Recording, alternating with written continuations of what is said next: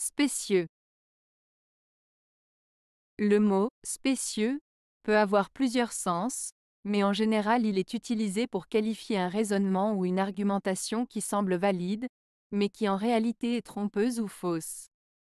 Par exemple, les arguments avancés par ce politicien sont spécieux car il ne prend pas en compte tous les faits. Cet article de presse est plein d'affirmations spécieuses car il manque de sources fiables. Ton excuse est spécieuse car elle ne justifie pas les comportements que tu as adoptés.